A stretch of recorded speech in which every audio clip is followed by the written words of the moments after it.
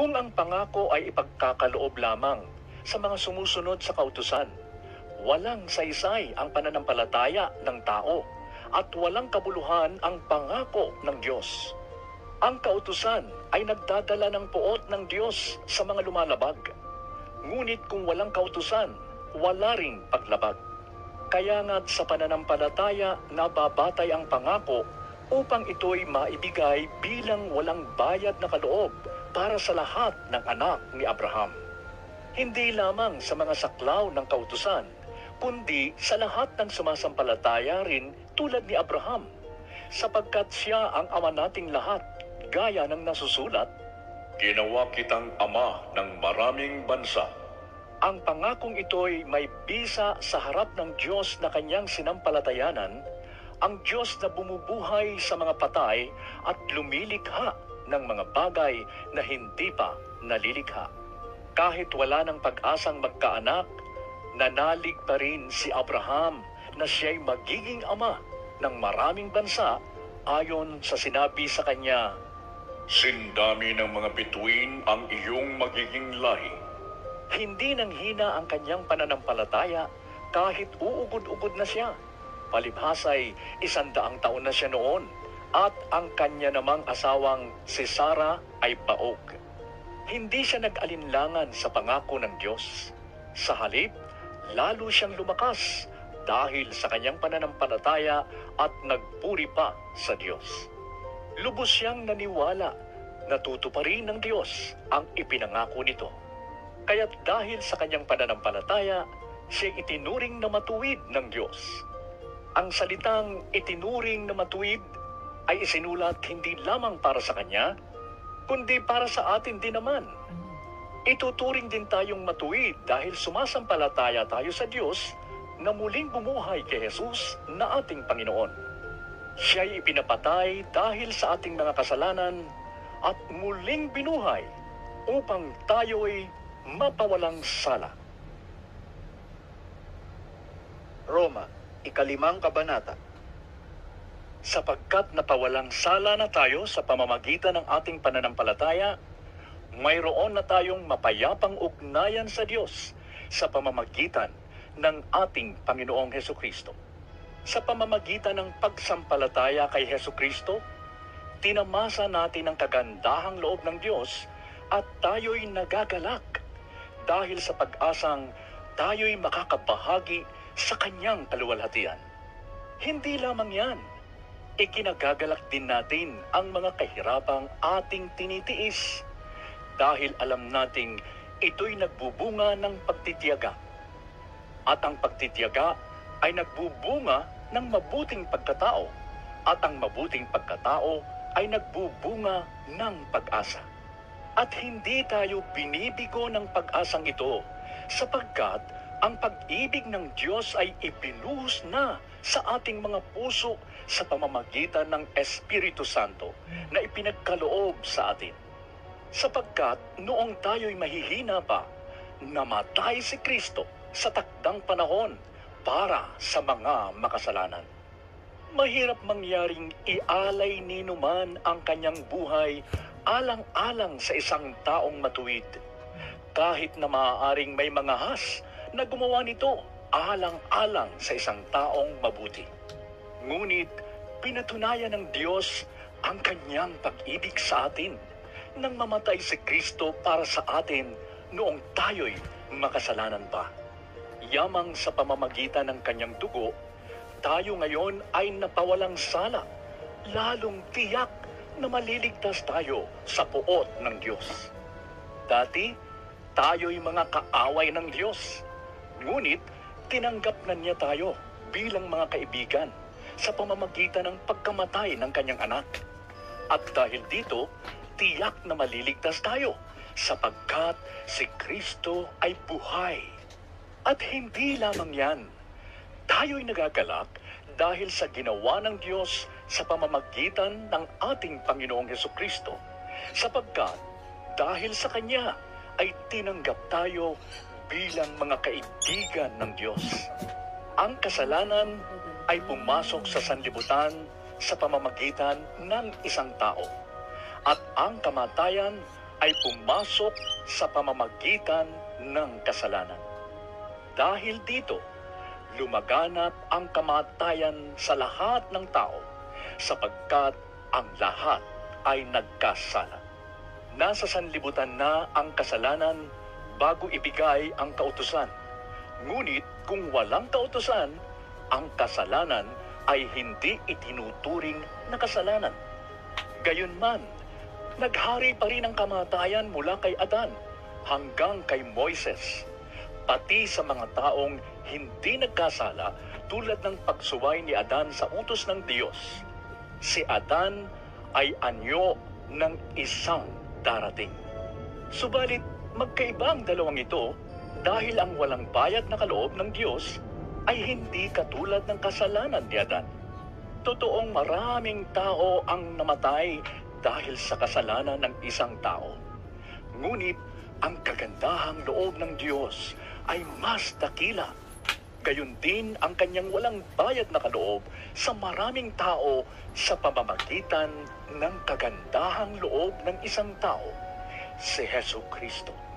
Ang kaloob na ito ay hindi katulad ng ibinunga ng pagsuway ni Adan sapagkat hatol na kaparusahan ang idinulot matapos na magawa ang isang pagsuway. Subalit, kaloob na nagpapawalang sala naman ang idinulot matapos magawa ang maraming pagsuway. Sa pamamagitan ng pagsuway ng isang tao, naghari ang kamatayan. Ngunit sa pamamagitan din ng isang tao, si Yesu Kristo, ang mga taong pinagpala ng sagana at itinuring na matuwid ng Diyos ay maghahari sa buhay. At kung paanong ang pagsuway ng isang tao ay nagdulot ng kaparusahan sa lahat, ang matuwid na ginawa rin ng isang tao at nagdudulot ng pagpapawalang sala at buhay sa lahat. Sapagkat kung naging makasalanan ang marami dahil sa pagsuway ng isang tao, marami rin ang mapapawalang sala dahil sa pagsunod ng isang tao. Nang magkaroon ng kautusan, dumami ang pagsuway. Ngunit sa pagdami naman ng mga pagsuway, ay lalong sumagana ang kagandahang loob ng Diyos. Kaya nga, kung paanong naghari ang kasalanan sa pamamagitan ng kamatayan, gayon din naman maghahari ang kagandahang loob ng Diyos sa pamamagitan ng pagpapawalang sala. Ito'y magtutulot ng buhay na walang hanggan sa pamamagitan ng ating Panginoong Heso Kristo. Roma, ika-anim na kabanata. Ano ngayon ang sasabihin natin?